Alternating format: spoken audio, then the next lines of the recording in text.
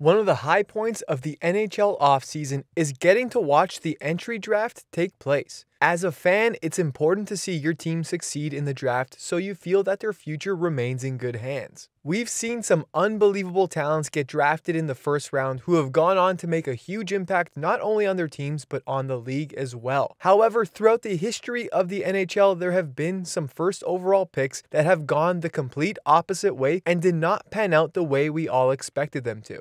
Keeping that in mind, here are the top six worst first overall picks in NHL history. Greg Joly, the Washington Capitals, 1974. We're going back a number of years for this one, back when the draft was still referred to as the NHL Amateur Draft. In 1974, the Washington Capitals were joining the NHL as an expansion team and were granted the first overall pick in the draft. With that pick, they chose Greg Joly. Joly came into the draft hot, coming off a 92 point season with the WHL's Regina Pats, followed up with a 20 point playoff performance in just 16 games played. He led the Pats to a Memorial Cup championship and was named the Memorial Cup MVP. So, with all that under his belt, it goes without saying that he was a hot commodity. The Capitals GM at the time, Milt Schmidt, referred to Joly as the next Bobby Orr. With 97 points in 365 games played, I think it's safe to say that Joly did not live up to that hype. His career was spent bouncing between the AHL and the NHL, with the majority of that time being in the AHL. Joly only spent 98 games, collecting 33 points and racking up a whopping minus 116 with the team that drafted him before being traded to the Detroit Red Wings.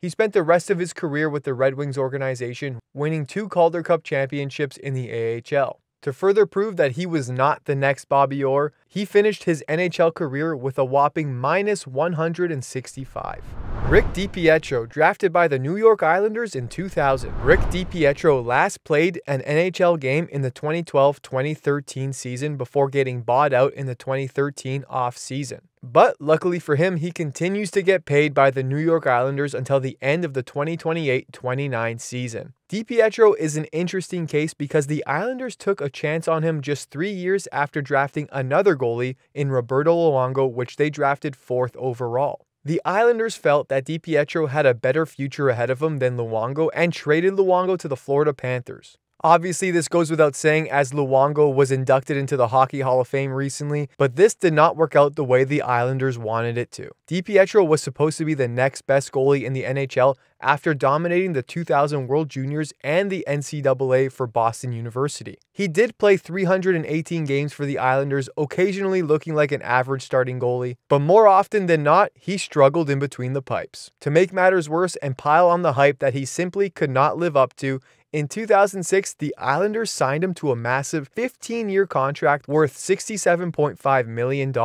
But between the contract, his struggles, the team struggles, and a series of injuries that seriously limited his play, there was simply no chance for Rick DiPietro to live up to those first overall pick standards. Brian Lawton, drafted by the Minnesota North Stars in 1983. While Brian Lawton finds himself on this list, it doesn't change the history that he made. The centerman was the first American-born player to ever be drafted first overall, and he's the only first overall pick to be selected out of a U.S. high school. Lawton entered the draft after racking up 171 points in his two seasons prior for Mount St. Charles Academy and played for Team USA at the World Juniors and the World Championship. The Minnesota North Stars selected him above players such as Pat LaFontaine, Steve Yzerman, and Cam Neely. That has to hurt. Lawton made the jump straight to the North Stars after being convinced by the team to turn professional. He played five seasons for the North Stars, putting up a respectable 162 points in 303 games played, but he never lived up to that first overall status. He was then traded to the New York Rangers and spent the remainder of his career jumping from the NHL to the AHL to the IHL and back. From 1987 to 1993, he played for seven NHL teams, three IHL teams, and one AHL team. It's safe to say his hockey career did not pan out the way he hoped it would after getting selected first overall, and you can't help but think if he was given the chance to develop his game a little more before being thrown into the NHL, his career could have turned out differently. Patrik Stefan, drafted by the Atlanta Thrashers in 1999. The 1999 NHL draft is arguably the worst draft in history, and it starts right at the top with the Atlanta Thrashers selecting Patrik Stefan first overall. It's even worse when you look at the next two players taken after him, which were Daniel and Henrik Sedin. The Czech centerman played in the Czech League and then made his way to Long Beach to the Ice Dogs of the IHL prior to playing in the NHL. The IHL was then considered the second best league in the world, and Stefan, despite being held just to 33 games in his draft year due to a concussion, was an all star in that league. He went on to spend just seven seasons playing in the NHL, six of those with the Thrashers and one with the Dallas Stars, where he will forever be remembered for making one of the worst on ice mistakes in NHL history. He never scored more than 14 goals or 40 points in a single season. Overall, Stefan disappointed in his NHL career, but he can't entirely be held at fault. Stefan should have never been taken first overall and wouldn't have been if it wasn't for Brian Burke. Burke made a series of trades to ensure that he landed the Sedin twins for the Vancouver Canucks, and in those dealings, he landed the Thrashers the first overall pick with the assurance that they would not select a Sedin. With all that being said, Stefan still would have been a bust, but it just makes it sting a little more knowing that he went first overall. Alexander Daigle, drafted by the Ottawa Senators in 1993.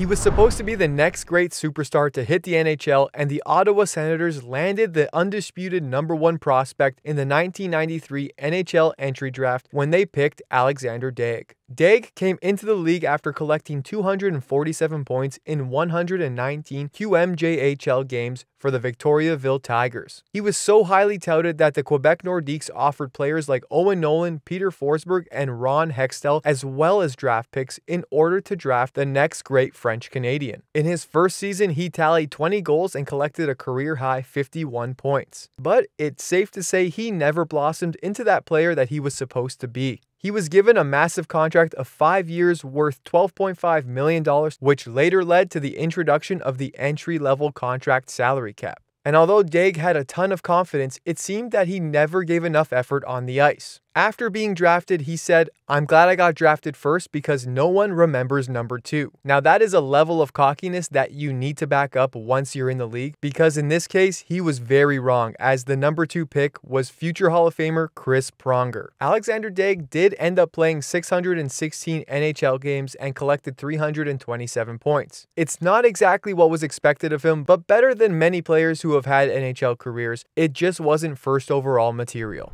Nail Yakupov, drafted by the Edmonton Oilers in 2012.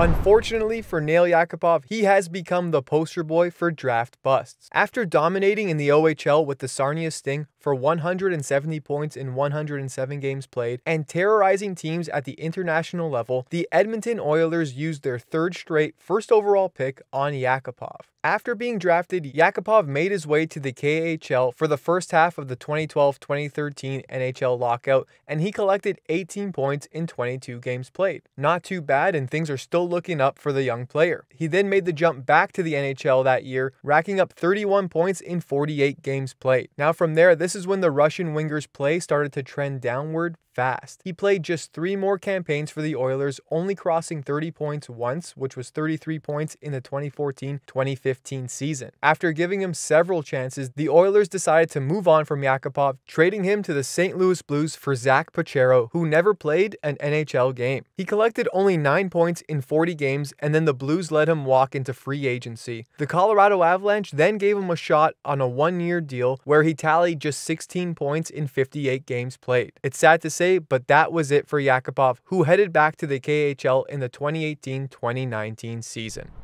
Thanks for watching our videos. Don't forget to leave a like, and if you're new to the channel, hit that subscribe button.